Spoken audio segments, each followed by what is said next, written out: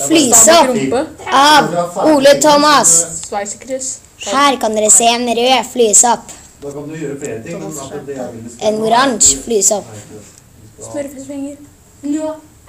Og en hvit flysopp. så kan du begynne på alpintrening. Her er en grønn flysopp. Her er en brun flysopp. Flysopp. Flysopp er en slekt fra familien Amaticene og er spesielt produkter for å inneholde noen av de mest giftige soppene i verden. Men inneholder faktisk også noen spesielle arter. I Norge finnes det minst 25 kjente arter, mens i verden for øvrig er det nesten 600 forskjellige arter. Takk for meg. Og så er brukte han